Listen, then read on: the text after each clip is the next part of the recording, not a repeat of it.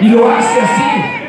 Y porque te ama, Dios envió a su Hijo para tomar tu lugar, para recibir el castigo que tú mereces.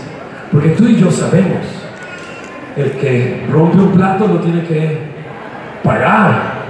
El que rompe una ley de Dios tiene que pagar por eso. Por eso Jesús vino y pagó. Por eso decíamos hace un momento, pagado por completo. En la cruz Él dijo esas palabras y expiró. Se le fue la vida, entregó su espíritu. Pero Él había predicho y Él había dicho antes a sus discípulos que Él resucitaría al tercer día. Y al tercer día Jesucristo resucitó. La tumba estaba vacía. Y le apareció a sus discípulos.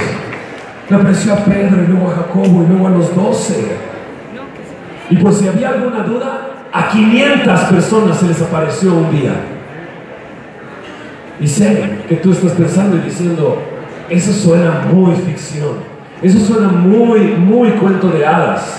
Bueno, la persona que escribió estas palabras que te acabo de decir, le dijo a, las, a esas personas a las que les escribió, muchos de esos 500 hombres viven el día de hoy. Ve y pregúntales, Jesucristo caminó por esta tierra, murió en la cruz del Calvario por tus pecados, resucitó al tercer día y esa es la verdad, eso no es ficción.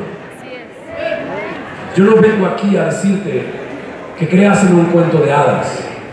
Yo vengo a decirte que creas en aquel que creó el universo, que te hizo a ti y que desea que pases toda la eternidad con Él.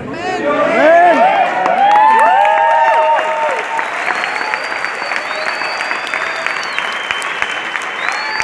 estado, he estado parado aquí